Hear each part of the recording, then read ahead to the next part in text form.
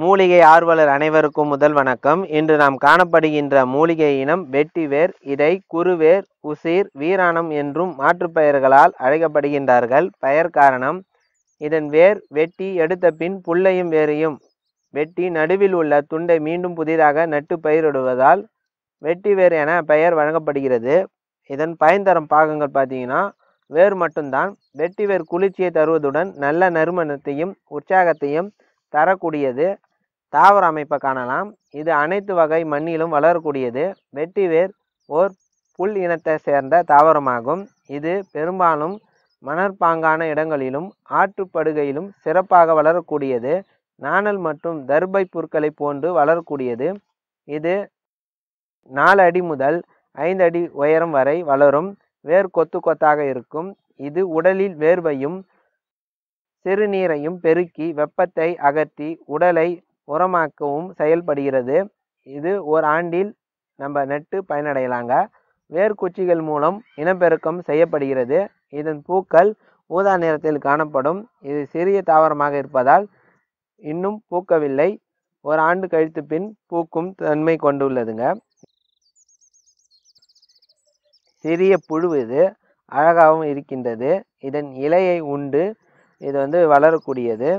இது மட்டும் இல்லாமல் இதன் வேரை பிடுங்கும்போது கவனமாக இருக்க வேண்டும். சில நேரங்களில் சில இடங்களில் வேரில் அடியில் வெட்டிவேர் அடியில் தேள் போன்ற நச்சு பூச்சிகள் இருக்கும். ஆகையால் அவற்றிலிருந்து நம்மளை தற்காத்து கொள்ள வேண்டும்.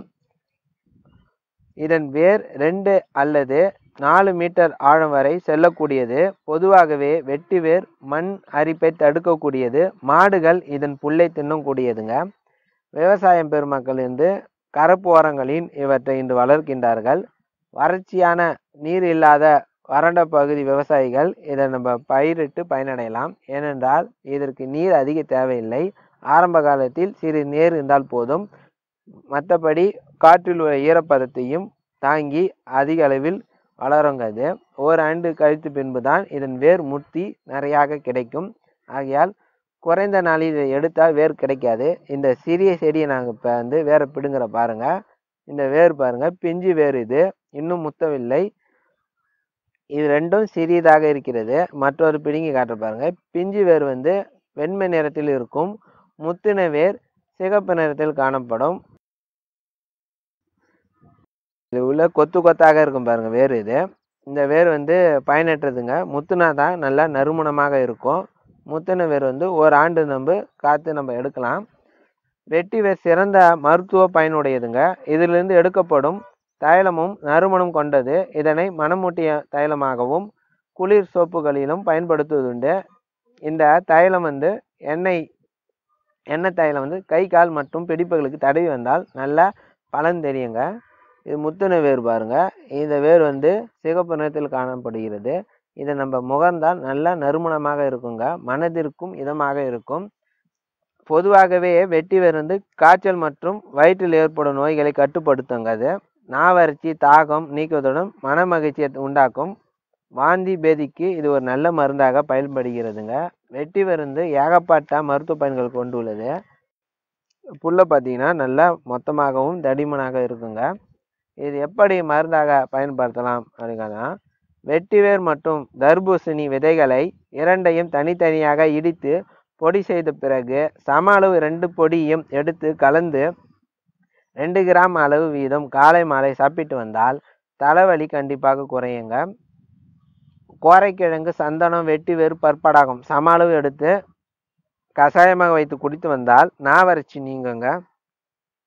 தேங்காய் செம்பருத்தி பூவை நன்றாக காய வைத்து போட்டு அதனுடன் துளசி விதை மற்றும் வெட்டி வை ரெண்டையும் சேர்த்து போட்டு நன்றாக காய்ச்சி தலைக்கு தைத்து வந்தால் பெண்கள் குறையும் பொடுங்களும் நீங்குங்க. வெட்டி வேர் பச்சையாக எடுத்து அரைத்து அதிலிருந்து நாலு தேக்கரண்டி அளவு தேங்காய் பால் ஊற்றி சிறிது தேன் கலந்து படுக்கும் முன் குடித்து வந்தால் வறட்டு இருமல் கண்டிப்பாக குறையும்.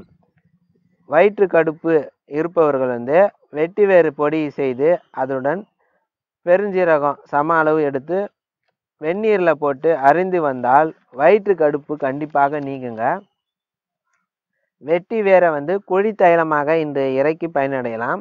அந்த குழி தைலமாக இறக்கப்பட்ட வெட்டி வேரின் ஒரு துளி இல்லை இரண்டு துளி நாட்டு சர்க்கரை கலந்து நம்ம ரெண்டு வேளை சாப்பிட்டு வந்தால் வாந்தி பேதி வந்து கண்டிப்பாக குணமாகும். வெட்டி வேரை வந்து நன்கு உலர்த்தி பொடி செய்து கொண்டு இரநூறு மில்லிகிராம் அளவு நீரில் ஊற போட்டு அந்த ஊறிய நீரை ஐம்பது மில்லி அளவு வீதம் ரெண்டு வேளை நம்ம அருந்தி வந்தால் காய்ச்சல் மற்றும் வயிற்றில் ஏற்படும் நோய்கள் வந்து கட்டுப்படுத்துங்க. ஒரு கைப்பிடி அளவு நூலில் கட்டி சாதாரண ஒரு பானையில் நம்ம போட்டு வந்து அதை குடித்து வந்தால் நல்ல இதமாக இருக்கும். உடல் நாற்றம்லாம் நீங்குங்க. இந்த நாட்டு மருந்து கடைகளின் இதன் வெட்டி வேறு குளியல் பஞ்சு இருக்குது. அதை கூட நம்ம வாங்கி பயன்படலாம். வெட்டி வேறு விசிறி கூட இருக்குதுங்க. அதை கூட நம்ம வந்து வாங்கி நம்ம விசிறுனா உடல் எரிச்சல் நமைச்சல்லாம் நீங்கும். இன்னைக்கு வந்து வெட்டிவேர் வந்து தட்டியாகவும் பயன் இருக்கிறது. அந்த தட்டிகளை வாங்கி வீடு ஜன்னலில் வந்து கட்டி வந்தால் அறையில் வெப்பத்தை குறைக்குங்க. மனதிற்கு குளிர்ச்சியை தரக்கூடியது. வேகப்பட்ட பயன்களை கொண்டுள்ள வெட்டி வேரை வந்து நாமும் பயன்படுத்தி பிறருக்கும் எடுத்து கூறி நோயிலிருந்து விடுபட்டு மட்டும் இல்லாமல் அனைவருக்கும் எல்லாம் கிடைக்கும் என்று கூறி விடைபெறுகின்றேன். நன்றி வணக்கம்.